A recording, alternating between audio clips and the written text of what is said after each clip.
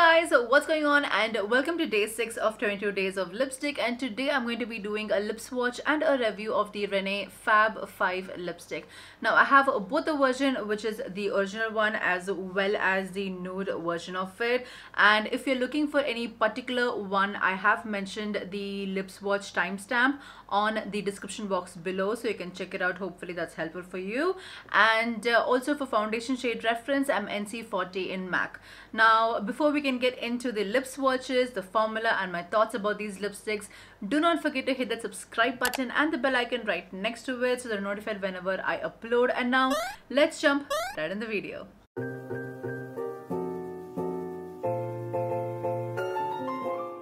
So let's talk about the description of these lipsticks first. Now it says that it's a soft creamy texture which glides easily and ensures a comfortable wear. Highly pigmented formula packs lips with rich color payoff. Multi-purpose product, travel friendly, please do not travel at the moment. Please be safe. Stay at home.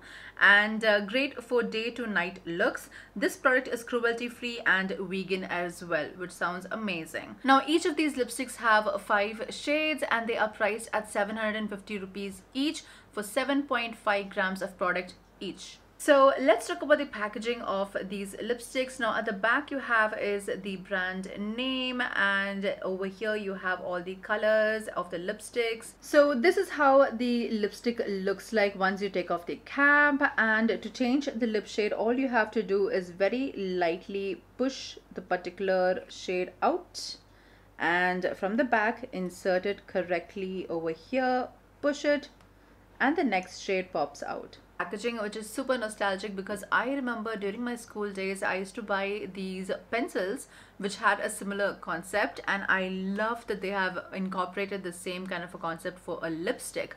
Now I used to go to a fancy store and just pick all the colors or just each one of them. I never knew what they're called. They're apparently called push pops and they also have erasers which I used to own them as well during my school days. So this packaging I really really like the concept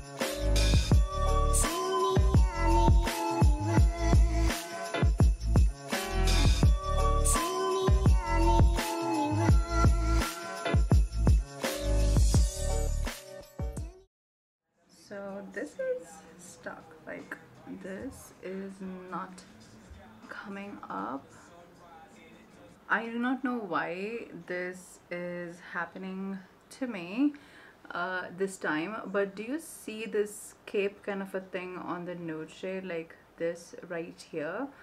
So this particular lip shade is not coming out because of this and this thing is not popping off. So as you guys can see for this one there is no that cape kind of a thing. So so yeah this is not popping out. I can still do a swatch because I can remove these out and then I can do the swatch.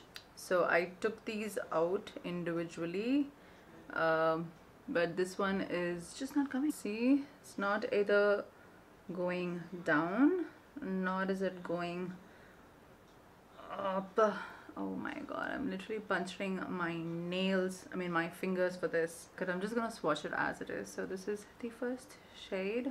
Can't even see it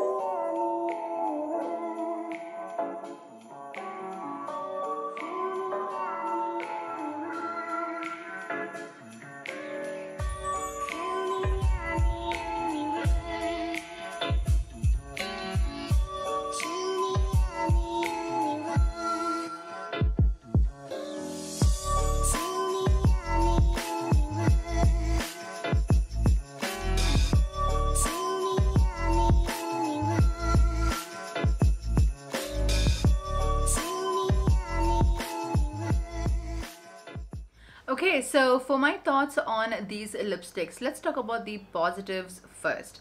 Now, these are super creamy and pigmented and the formula once on the lips, it is more like a creamy matte finish. So the longevity of these lipsticks are like any other bullet lipsticks and uh, for me it lasted like about 4 to 5 hours after having like chai, pani and uh, very very light snacks. Uh, and these are not transfer proof at all. However right now i have blotted my lips with some dry tissue paper. I had to do that like four to five times after which this is how it looks like so the color payoff is still there. And for example clean hands. There is very little transfer. That is only because of blotting my lips but that is the case with any bullet lipsticks in my opinion. So just FYI and this is how it looks like once you have a very heavy meal now like i mentioned before i do love this type of a product because it is one nostalgic number two you get five lipsticks for 750 rupees where you can actually mix and match and you can also create your own shade or you can just stick to the same shades and now coming to the cons, the first and foremost point is to do with the defective product that I received in the nude version. See, it's not either going down nor is it going up. Oh my god i'm literally puncturing my nails i mean my fingers for this. Now it is such a bummer because i was not expecting that at all. One kind of a good thing is that it's a shade that i do not prefer or like because it doesn't suit that well for my skin tone but still nevertheless it is kind of disappointing that i received such a product. Now i know this is not going to be the case for everyone but still it was such a disappointment so i'm going to put that as a con and the second con is to do with these shades. Now for the original version, it is completely fine. It will suit for fair, medium and darker skin tone. However, coming to the nude version of it, I highly doubt it will suit for a darker skin tone. Like majority of the shades will not suit for the darker skin tones. If you're fair, it will be completely fine. For my medium skin tone itself, like I have the most basic medium skin tone, which is NC40. For that itself, I think two of the shades kind of washed me out but if you are a darker complexion I feel majority of them it will wash you out. However if you're a darker skin tone and if you still want to buy the nude version of it then I would highly suggest do more research watch more YouTube videos of other YouTubers who have a similar complexion like yours and then make the right decision if you want to buy it or not to buy it. So that's that with the cons. And then I have just two other points like an FYI uh, the first one is that I really kind of wish that they had numbered or named named the shades. Like for example, when I told you this is the shade that I like, I could not give you a number or a name to it. I had to show you like, oh, this is the shade. But if they had numbered or named, I could have told you, oh, it's the number three or it is Nuri Paruri you know something of that sort. so i hope that makes sense but that's just like a personal preference so that's why i'm not putting this as a con but yeah and the last and final FYI that I have is that you need to be careful when you're changing these uh, lipsticks so that you do not stub it at the wrong place because then your lipstick will get effed up.